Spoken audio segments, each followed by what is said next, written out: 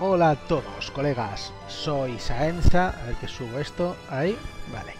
Soy Saenza y estamos de nuevo con la novela visual cinética eh, Umineko.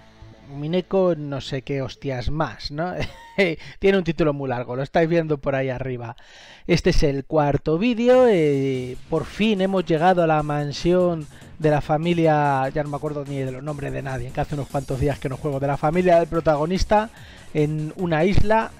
Empieza a, a tener ya todo un ambiente un poquito oscuro y misterioso, algo lúgubre. va a venir momentos muy interesantes, eh, preveo. Va a ser una, una novela visual de misterios segurísimo. Ya digo que yo no sé nada más de ella. De, de nuevo, vuelvo a agradecer a Isabel Lasso por su recomendación, me está resultando muy interesante.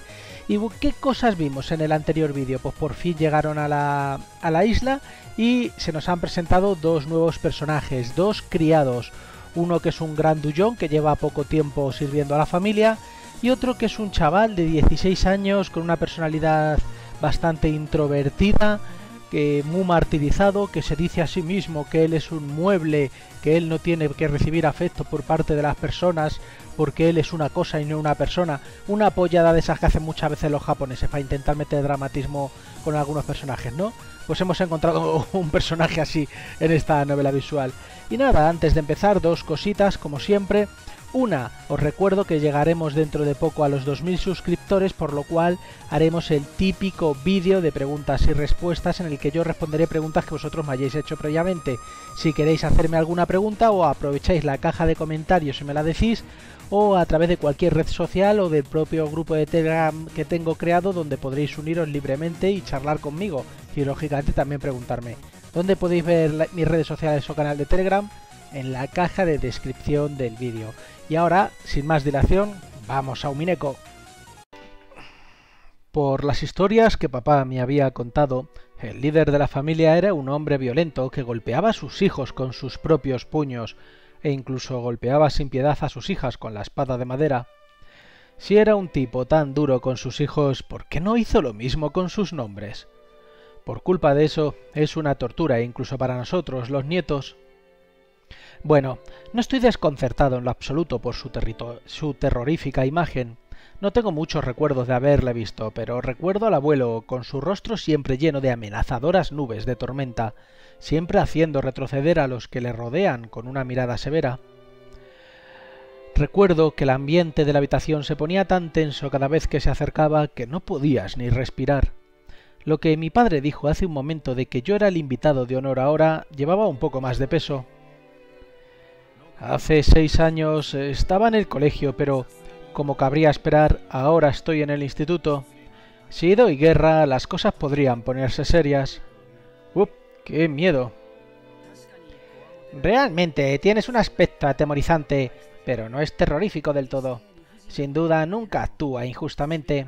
Simplemente es muy directo y no es un orador condescendiente, eso es todo. Pero George Nissan, Siempre has sido el favorito de la familia debido a tus increíbles notas, ¿verdad? A nosotros, el abuelo nos trata de una manera completamente distinta. Como yo, he sido azotada con una espada de madera. En mi trasero, mi trasero.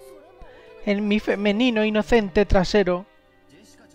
Bueno, eres la heredera de la familia Osiromilla, Jessica Chan. El abuelo te está dando un trato especial. Joder, si ya ves a, un trato a base de golpes. Tienes que darte cuenta de que lo estricto que es muestra que tanto está esperando de ti. Oh, vamos. En serio, por mí, ¿podría simplemente pasarte la sucesión a ti, George Nissan? Es una carga un poco pesada para que yo la lleve. Creo que ya lo había dicho antes, pero Jessica era la hija del que heredaría la casa principal. Como primos en una rama de la familia, la presión que recibíamos era probablemente diferente. ¿Mm? Jessica Onichan pesada. Si María la sujeta, ¿se hará más ligera? ¿Eh? Gracias. Está bien. No va a afectarte a ti, María. Voy a cargar con esa cruz hasta mi tumba. No te preocupes. Ella estaba agradecida con la inocente amabilidad de María, pero parecía que la ansiedad por el futuro que no podía borrar seguía presente en su rostro. ¿Acaso no éramos iguales? Ningún estudiante que tuviera cerca un examen podría esconder su ansiedad por el futuro. María, ven aquí. Mamá y María estarán en esta habitación. Baturacón, tú y yo nos hospedaremos en esta habitación. ¡Wow! ¡Impresionante! Es más grande que la habitación de nuestros padres. ¡Wow! Y es que siendo primos supongo que nos reuniremos por aquí. Por eso les pedí una habitación algo mayor. ¿Eh? También a María le gusta este lugar. Aquí es mejor que estar con mamá. Así que también tú lo prefieres, María. Muy bien, esta habitación es de George y mía, pero te daremos un permiso especial de entrada y salida. No se lo cuentes a tu madre, ¿entendido? ¿Eh? ¡Secreto! Su madre, Rosa Obasán, estaba justo detrás de nosotros, pero María respondió a pesar de todo golpeando el aire con los puños. Tras colocar su equipaje en las habitaciones, nuestros padres se reunieron en el pasillo. Oigan, mocosos, ¿qué harán? ¿Ustedes, los primos, tan solo van a quedarse aquí y hablar? Por lo visto, se dirigían a la mansión para anunciar su llegada. Lo normal es que tuviéramos que seguirles y saludar a todos juntos, pero si así hubiera sido, papá se habría limitado a decir ustedes vengan y punto. Eso quiere decir que no habría problemas si no vamos con ellos. Así que, ¿qué deberíamos hacer? Como sea, pronto llegaremos a las horas más tardías del mediodía. Es mejor que los niños se desenvuelvan por aquí. Además, en el peor de los casos, puede que sea su última oportunidad para jugar en el exterior. ¿Eh? María también irá. María, cuida de la casa mientras no esté mamá, ¿está bien? Compórtate y espera aquí. Decirle que cuidara el lugar era una excusa bastante floja para dejarla atrás. Dándose cuenta de esto, George a Nicky dio una respuesta clara por parte de todos. Bien, aceptaremos la oferta y cuidaremos el lugar. Tras un año sin vernos tenemos mucho que contarnos. Eso es bueno. Y Baturakun tiene seis años acumulados para relatar, ¿verdad? Sí, sí, cuidaré de la casa como un buen chico. Kumasawa-san, creo que yo también me quedo. Dejaremos que los adultos se encarguen del resto y los jóvenes romperemos filas, jeje. Eso es bueno. se lo diré a la señora. Bien, entonces les guiaré a la mansión. Por favor, por aquí. George ya no es un niño y de hecho es casi un adulto, así que ¿no sería mejor que nos acompañara? Si le obligamos a venir, solo él se sentirá fuera de lugar. Es importante que interactúe con sus primos. Muy bien, nos vemos. Los adultos fueron saliendo uno tras otro. Como cuando nos guió desde el puerto, Godasan fue por delante con Kumasawa-san en la retaguardia. Mientras nos reuníamos en la habitación que nos habían asignado, George Haniki nos pidió que le disculpásemos un momento. Corrió hacia Kumasawa-san que seguía a los adultos y pareció preguntarle algo. No tardó en acabar y volvió. ¿Qué ocurre, Aniki? Ah, no es nada. Solo tenía una pregunta. Mm, díselo también a María. Díselo también a María. Hmm. Me pregunto qué podría ser eso que George Nissan le pregunta a más agua, pero no a mí. Ah, no tengo ni idea. No, es un malentendido. No estoy seguro de qué es lo que Jessica Chan está malentendiendo, pero... Aniki se estaba enredando bastante. Era casi como si se sintiera culpable y fuera una marioneta en manos de Jessica. ¿Por qué? Algo que solo Jessica sepa y yo no sepa no es nada divertido. Bueno, María, parece que solo tú y yo no nos enteramos de nada, ¿verdad? Quiero saberlo. Eh... Y María quieren saberlo también. Batura y María quieren saberlo también. Hice el tonto un rato haciendo us con María. Eh, no, ya se los he dicho, no es gran cosa. Mentiroso. Eres horrible mintiendo, confiesa. María, hazle cosquillas por la derecha, yo haré lo mismo por la izquierda. María por la derecha, Batura por la izquierda. Esperen un momento. Esperen ustedes dos. Paren. ¿Qué música ponen? María y yo jugamos persiguiendo a George Aniki que escapaba rodando por la cama. Creo que cuando eres estudiante de instituto intentas no volver a comportarte como un niño, pero la verdad es que echaba de menos esta clase de diversión, una cálida forma de divertirse. George Nissan, ¿qué le preguntabas a Kumasawa? ¿Eh? Bueno, tengo una idea. ¿No has venido aquí en un año? En ese tiempo algunos criados se retiraron y otros nuevos llegaron. Y quería saludar, ¿verdad? ¿Eh? ¿Saludar? María también saludará. ¿Qué demonios? No debes sentirte culpable por eso, Aniki. Eh, ¿no es eso? María, que no te engañe. ¿Qué escondes, Aniki? ¡Más tortura! ¡Wow! ¿En serio? ¡Para! María Chan, tú también, para. Deben de estar ocupados limpiando, preparando la comida. Está bien, iremos y les saludaremos como debe ser luego. El recibimiento de Shannon será mejor que el ruidoso recibimiento de Goda, ¿verdad? ¿Shannon? Shannon. ¡Ah! Ya recuerdo. Esa chica. ¿Sigue siendo una criada? Vaya espíritu.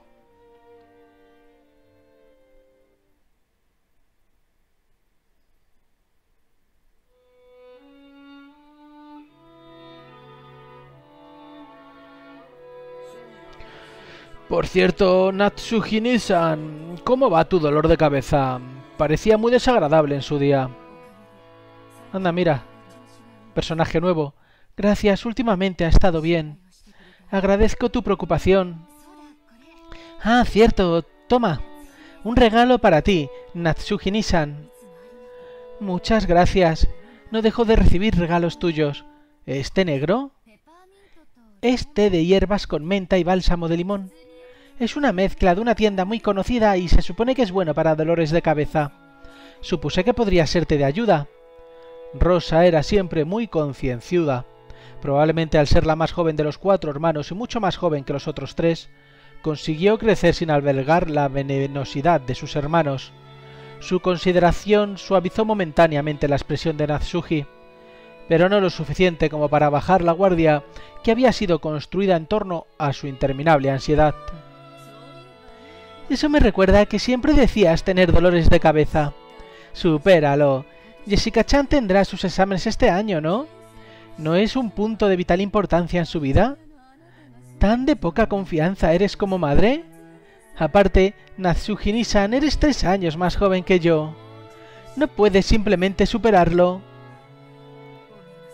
Lo siento. Nací con esta molestia. Hay ocasiones en las que Eva no consigue escoger bien sus palabras, pero aunque lo escondiera sonriendo, sus comentarios hacia Natsuki contenían obvios fragmentos de malicia. Por supuesto, eso no se le escapó a Natsuki. Contuvo como pudo su impulso de hacer una mueca y fingió ignorar a Eva. También Batura-kun tendrá sus exámenes este año, ¿no? Rudolf-san, ¿no deberías estar un poco preocupado? Por el bien de tu propio hijo, ponte serio hasta el punto de tener dolores de cabeza como Natsuki-san. Si digo algo, se opone automáticamente. Entonces, ¿qué debería decir? Debería decirle justo lo opuesto, que hace bien no haciendo nada. Probablemente esa es la única cosa que escucharía obedientemente de mi parte. En tu familia y de Yoshi Nissan, a George le fue bastante bien en sus exámenes, ¿verdad? Por favor, enséñame el secreto de cómo controlar a los hijos. Eh, bueno, tal vez fue porque le dije exactamente por qué debía estudiar. El estudio por sí solo no significa nada. Así es, el estudio es un tipo de entrenamiento en el que uno observa lo que no conoce y aprende de ello. Si no puedes hacer eso, eres un inútil para la sociedad. No hablo de matemáticas o escritura. Es aprender cómo aprender más. Espléndido. Ojalá Jessica pudiera entenderlo. Ahora mismo no tiene ni idea, pero como heredera de la familia Oshiromiya... ¿Realmente tienes que obligarla a convertirse en la sucesora? Las mujeres deben buscar su propia felicidad. Los padres no deberían decidir por sus hijos, ¿verdad? Detente, Eva. Cada familia tiene su forma de criar a sus hijos. No deberías meter tanto las narices. Lo siento. Natsuhini-san, no me malinterpretes. Aunque la luz que brillaba a través de la ventana era bastante cálida a pesar del clima nublado, había una atmósfera desagradable en el salón, que seguramente provocó dolores de cabeza no solo a Natsuki. Como para romper con esa atmósfera, Kiri animadamente hizo una sugerencia a todos los presentes. Este té negro tiene un aroma impresionante. Bebámoslo de una vez. En Japón seguro que no puedes comprar cosas como el té negro de Leopoldo fuera de Ginza, ¿verdad? Kiri-san, qué conocedora eres. Realmente valió la pena comprobarlo. Kiri y Rosa se levantaron de sus asientos e hicieron amago de ir a preparar el té negro. Natsuki se les adelantó. Gracias a ambas. Dejémoslo para luego. Uno de los nuestros no tardará en traer algo de té, así que relájense.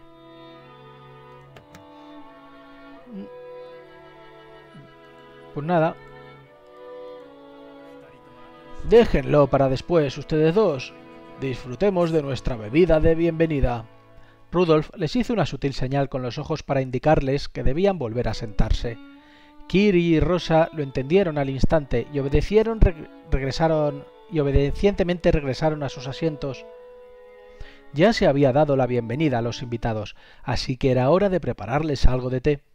Dicho té llevaba tarde y ver a los invitados hablar sobre hacer algo de té ellos mismos era una vergüenza para el anfitrión.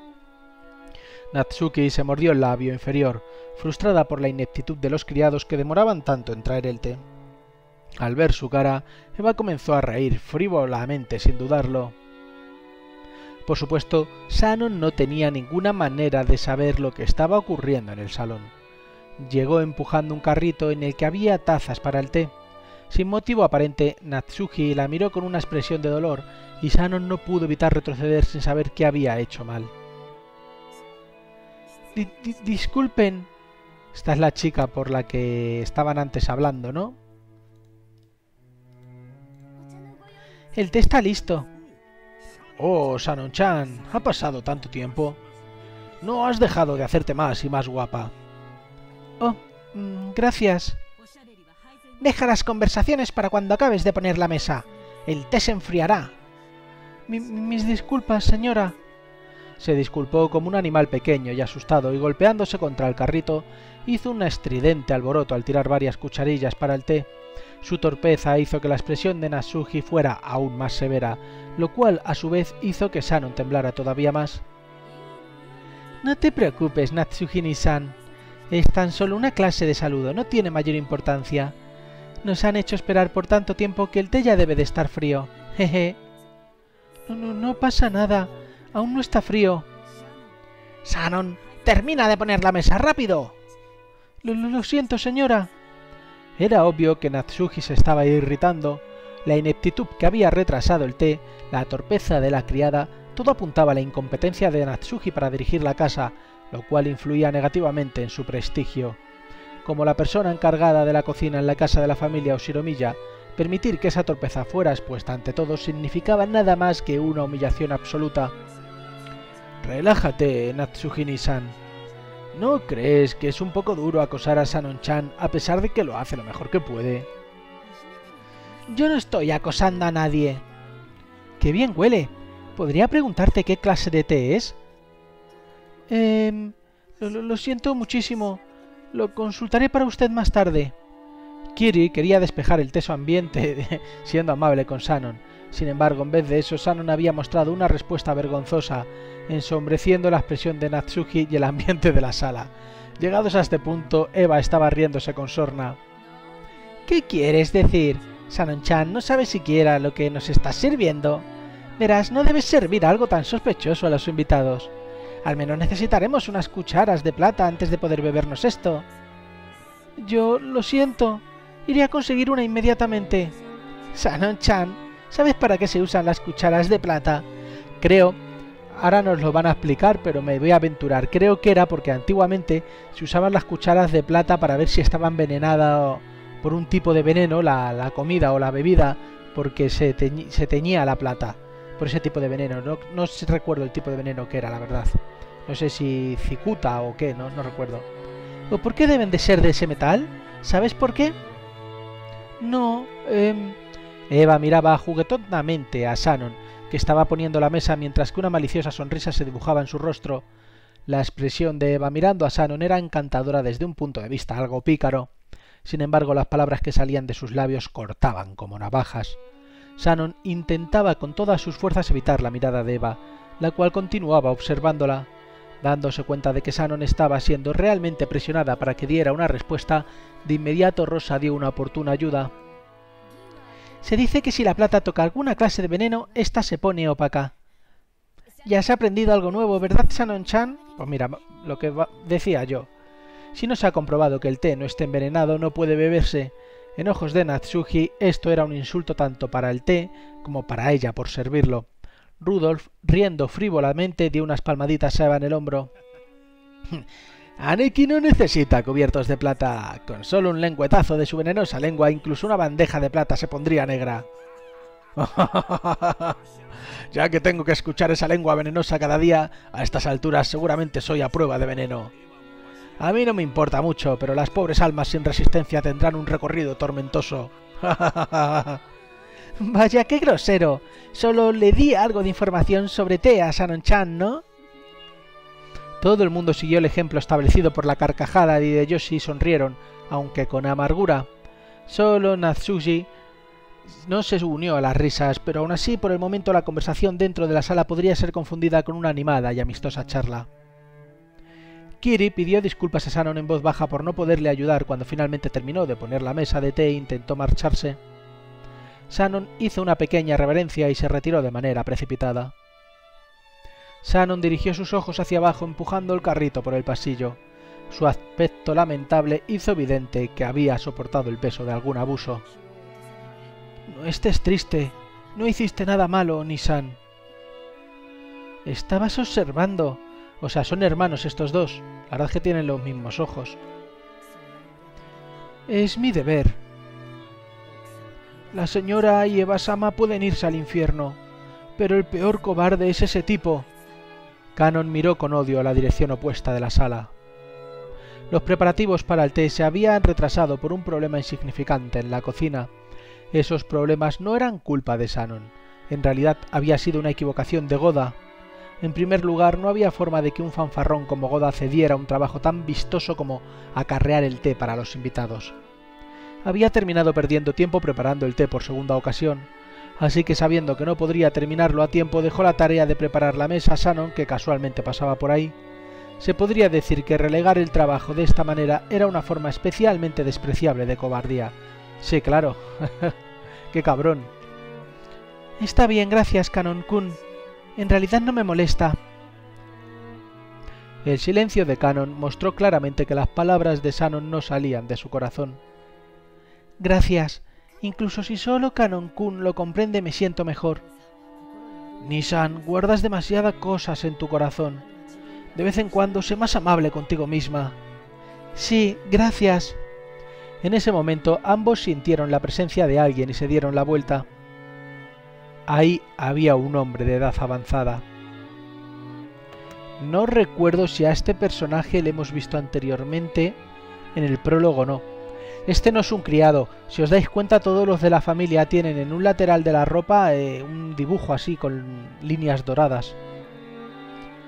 Era Genji, el jefe de los criados. Ah, coño, pues sí que es un criado. Pues con ese, con ese dibujo me, me sorprende, la verdad. ¿Qué hacen aquí? Sanon, date prisa y vuelve a la cocina. Sí, sí. Si me disculpan, Shannon obedeció humildemente y sin demorarse comenzó a empujar el carrito para marcharse.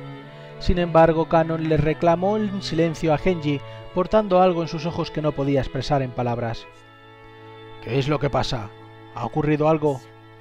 Sa Shannon no hizo nada malo, pero aún así ellos... Basta, Canon-kun. Si me disculpan, volveré a trabajar de inmediato. Canon-kun, tú también, vuelve a tu puesto. Por favor. Si tú lo dices, Nissan. Si eso es todo, entonces vayan. Sí, con su permiso. Desde las sombras en el pasillo una anciana usando un delantal los vigilaba.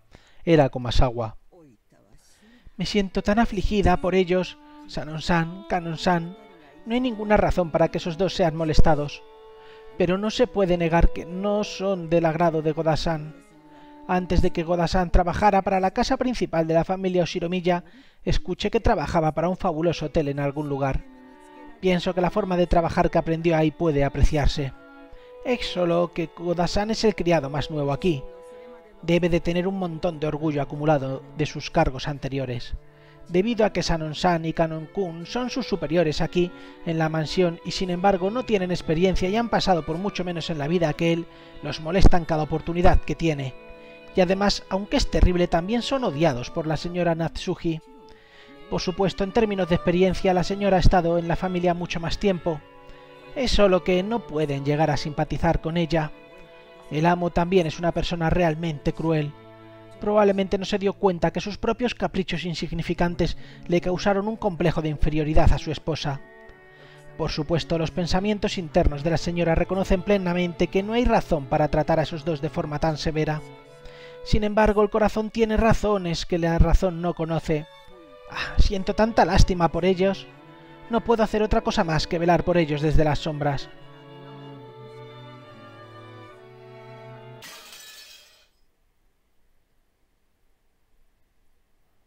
Bueno. ¡Hala! A las 12 de la noche, qué tarde, ¿no? ¿Y a estas horas se van a poner a cenar? Bueno, pues habrá que verlo.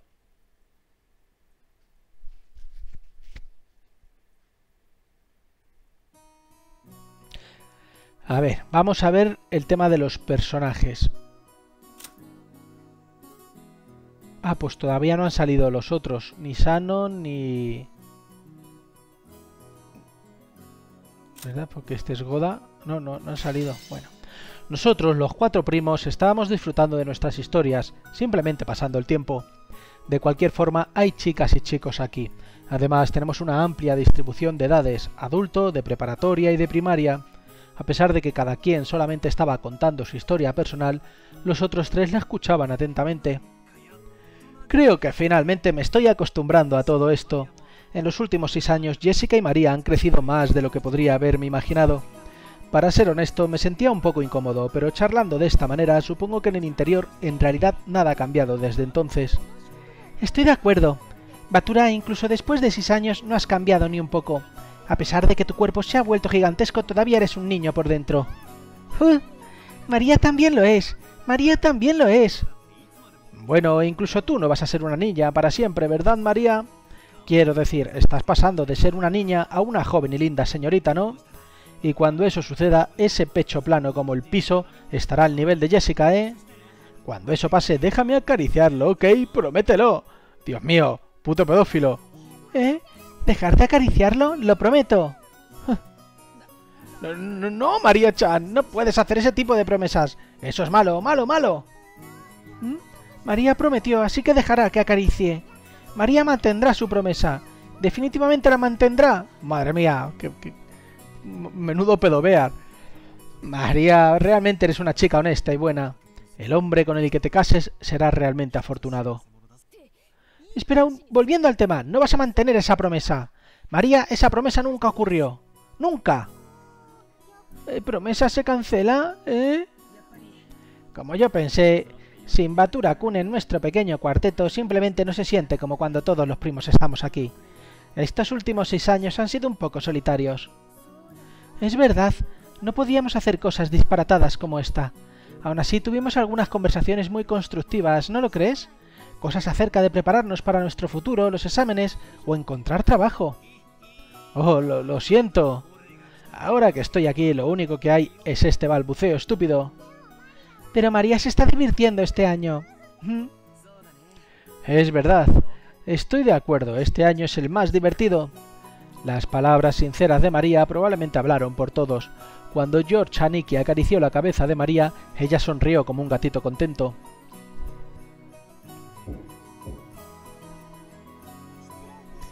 Eh, disculpen, su comida está lista. Un tímido golpeteo y la igualmente tímida voz de una mujer joven llegó desde la puerta. Jessica respondió alegremente. Shannon, entra. ¿Recuerdas a Batura, verdad? Jessica se levantó de la cama y abrió la puerta. Allí estaba una criada que definitivamente era de nuestra edad. Ha pasado bastante tiempo desde nuestra última reunión, Batura-sama. Es agradable verlo después de seis años. Soy Shannon. Temblando un poco, ella me reconoció e hizo una gran reverencia. ¡Ja, Jessica me ha sorprendido, pero Shannon-chan, tú también. Te has vuelto una mujer completamente hermosa. Sus, palabras son demasiado buenas para mí. pero la comida en esta isla debe ser realmente nutricional, ¿eh? ¿Qué están comiendo? ¿Dónde están entrenando para conseguir esos pechos tan grandes? Déjenme sentirlos un poco y ver si los tuyos y los de Jessica son más grandes, ¿ok? Con las dos manos listas y saliva goteando por mi boca me acerqué. Por mi propio honor y justicia, Quisiera señalar que no sufro de alguna condición rara que irrite mis nodos linfáticos y que los rasgue hasta que me abra el cuello y que solo se evite acariciando pechos. Tan solo es mi forma de comunicación al estilo Batura. Si me acerco como estoy haciendo, hay una probabilidad de 8 o 9 de cada 10 de que reciba una cachetada o una paliza, ¿cierto? Es la técnica original de Batura-sama para romper el hielo. bueno, eso significa con la probabilidad restante de uno de cada diez, poder tocarlos me hace un sujeto bastante suertudo, ¿verdad? no es como si estuviera esperando que vaya a suceder, ¿verdad? En ese momento, mis manos estaban menos de un centímetro de los pechos de Sanon-chan, pero el contraataque aún estaba por venir. ¡Qué hijo de puta! ¡Qué pervertido! Ella se sonrojó y avergonzada bajó la cabeza cuando se dio cuenta de lo que estaba pasando, pero con ambas manos sujetadas frente a ella educadamente no trató de resistir con violencia o cubrir sus pechos. ¡Uh! Esto es inesperado. vamos, tienes que golpearme o algo. ¿En serio voy a tocarlo si esto continúa? Por lo que me alegré de que Jessica eligiera ese momento para clavar su codo detrás de mi cabeza. ¡Ah, gracias, Jessica! ¿Por qué demonios me estás agradeciendo? No, no, no, no, qué mal, Sanon-chan. Al parecer me quedé demasiado absorto en tu hipnótico pecho. Así que ahora podemos ver que después de todo, si me acerco demasiado, me degenero hasta convertirme en un gran pervertido. En serio, te tienes que resistir. pero... Usted es un... invitado importante, Batura-sama. Mira, un pervertido es un pervertido, sin importar que sea un invitado o no. 10 centímetros alrededor del pecho de una chica son como un rango de identificación de la defensa aérea. Si alguien traspasa el rango de 2 centímetros, ya es una invasión del espacio aéreo y de inmediato me puedes dar una bofetada como una alerta máxima de despegue. Yo, no podría hacer tal cosa. Por supuesto que ella no querría que le tocaran los pechos, pero si un huésped lo deseara, ya tendría la intención de sacrificar sus propias necesidades en respuesta. Una chica como esta necesita un poco de protección urgente. En estos tiempos, pensar que hay una chica dedicada y virtuosa como esta... Me estoy aturdiendo de nuevo. Pero no, no.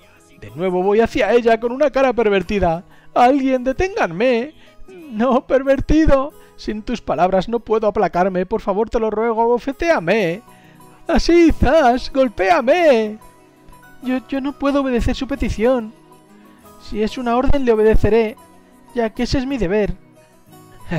Entonces yo lo haré una orden. La próxima vez que Baturakun trate de tocar tus pechos, contraataca con una bofetada. ¿De acuerdo? Eh, sí, sí, lo haré como usted desee. De ahora en adelante, permítame que lo haga. Baturasama, por favor, acéptelo. Sanon-chan anunció esto mientras me hacía una elegante reverencia. La expresión de su rostro estaba radiante. Le mostré un pulgar hacia arriba para indicar que por mí estaba bien.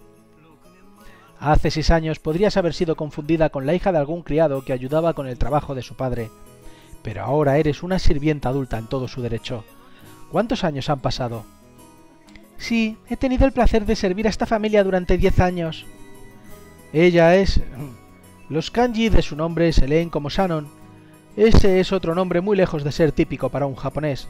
Siendo una niña de aquellos días habría aceptado su nombre sin prestarle mucha atención, pero a pesar del hecho de que ella no es miembro de la familia Oshiro Miya, aún así tiene inusual nombre.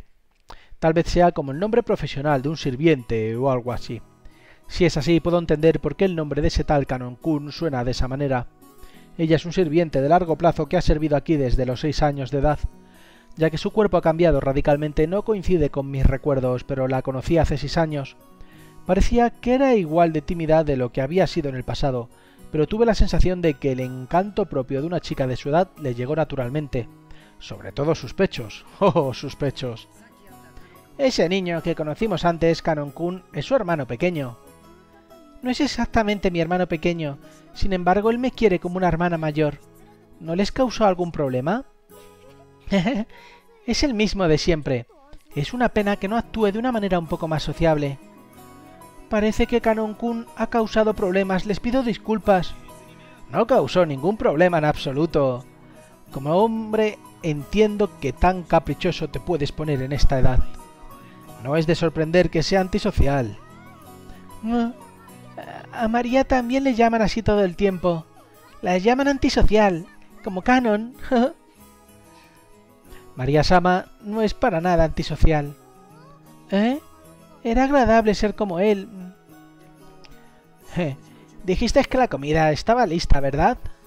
Ah, sí, lo siento. Los preparativos para su comida han sido llevados a cabo, así que debería acompañarlos a la mansión. Shannon se inclinó formalmente de nuevo y regresó a su modo de servicio. Nos percatamos de que si la hacíamos quedarse a charlar por más tiempo, eso haría que realizar su trabajo fuera más difícil para ella. Levantamos nuestros traseros para evitar interferir aún más con su trabajo. Entonces vamos a la mansión. Probablemente todos tienen hambre, ¿cierto? Cierto. Estoy muy entusiasmada por la comida de Godasan. Este tipo parece que era un chef en un hotel famoso, así que es súper bueno cocinando. ¡Wow! Bien, lo espero con ansia. Vamos, María, vamos a llenarnos como cerdos. ¿Eh? ¿A llenarnos como cerdos? No, no.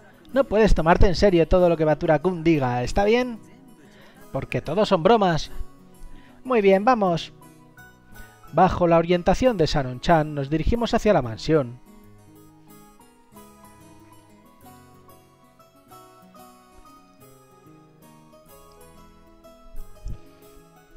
A ver, vamos a ver la ficha de la... de Sanon. Ya aparece, ¿no? Sirviente Sanon, una joven pero experimentada sirvienta. Normalmente es tranquila y realiza su trabajo sin problemas, pero comete errores cuando se pone nerviosa. Además, Sanon es un seudónimo que utiliza cuando está de servicio, no su verdadero nombre. ¿Os habéis dado cuenta? Tiene el símbolo de la familia en la pierna. Qué raro que no lo tenga en la ropa, que lo tiene tatuado. ¿Todos los personajes lo tienen? Sí, mira, aquí parece que Canon lo tiene en el... en la doblez del cuello. Mira, en cambio Goda no se le ve. Y a Kumasawa tampoco. Bueno. Encontrándonos de nuevo con el magnífico jardín de rosas, continuamos avanzando en cuanto apareció ante nuestra vista la intimidante mansión del líder de la familia Oshiromiya. Aparentemente había sido construida un poco después de la guerra, por lo que se podía sentir la dignidad de casi medio siglo suspendido sobre ella. En la superficie el edificio era magnífico, pero al ser tan antiguo, los enseres tales como el aire acondicionado se veían bastante frágiles. Según Jessica, en pleno invierno era realmente duro con todas esas corrientes de aire. No es como si no pudiera simplemente sacar el kotatsu. Ahora vamos a ver qué es eso del kotatsu. Que se nos ha puesto ahí en verde. A ver.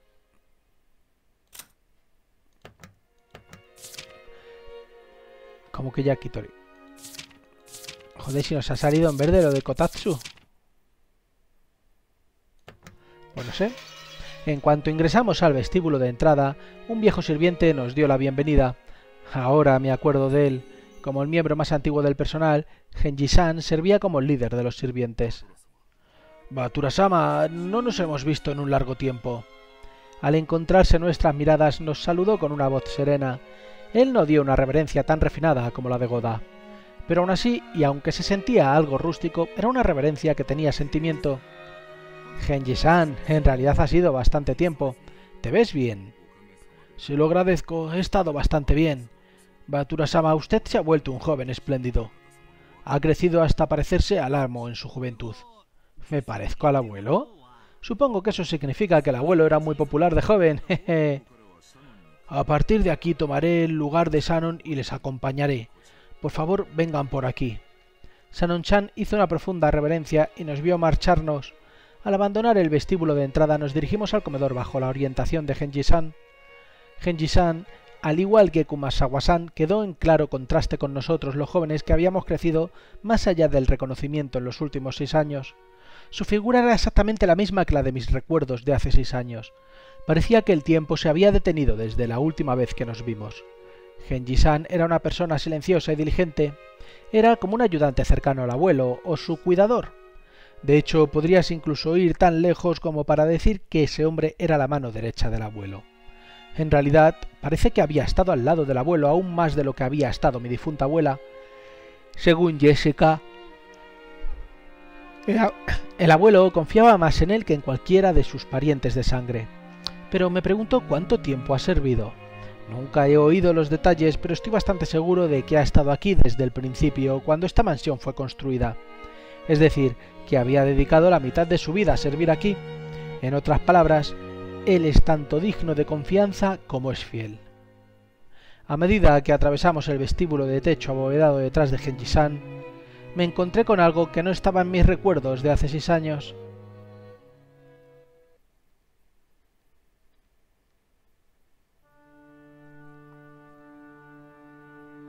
Que vamos a ver, una especie de flashback. Anda, no, mira.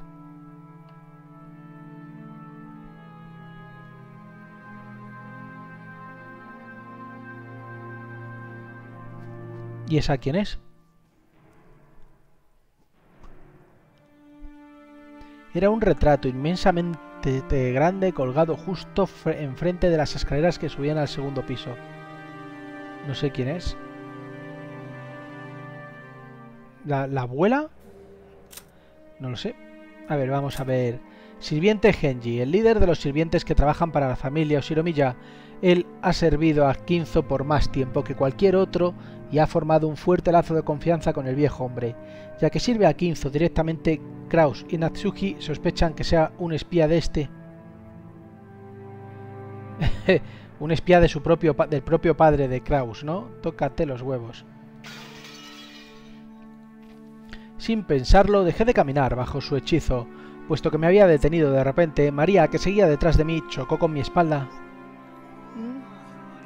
Eh, perdón. Oye, Jessica, ¿ese retrato solía estar ahí? Señalé el gran retrato que atrapaba la vista, que colgaba en el vestíbulo. Todos los demás también se detuvieron. Ah, cierto.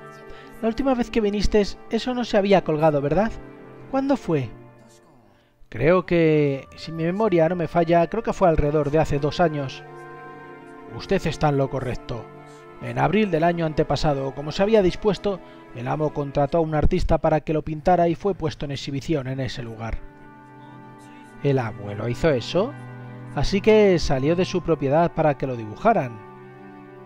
El retrato era adecuado para esta mansión de estilo occidental y esa mujer llevando ese elegante vestido daba una sensación de refinamiento. No podría haber adivinado su edad, pero a juzgar por su evidente fortaleza de voluntad y la agudeza de sus ojos, ella radiaba juventud. Era una sensación diferente a la del sereno estado de ánimo que suelen tener las mujeres de mediana edad en los cuadros famosos. Si esta mujer tuviera un ordinario cabello negro, podría haber pensado que era un retrato de mi difunta abuela en su mejor momento. Ah, pues no es de la abuela. Sin embargo, la mujer en el retrato tenía un hermoso cabello rubio y no parecía japonesa para nada. Entonces, ¿Quién es esta mujer?